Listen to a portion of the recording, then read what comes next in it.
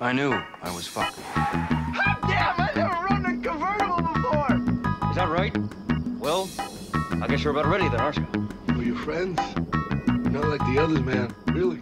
No more of that talk or I'll put the fucking leashes on you, understand? Get in. I forgot about the beer. You want some? How about some ether? What? Never mind. All right, listen to me. In a few hours, she'll probably be sane enough to work herself into some sort of towering Jesus-based rage at the hazy recollection of being seduced by some kind of cruel Samoan who fed her liquor and LSD, dragged her to a Vegas hotel room, and then savagely penetrated every orifice in her little body with his throbbing, uncircumcised member. I just wanted to cut a little thing in your forehead.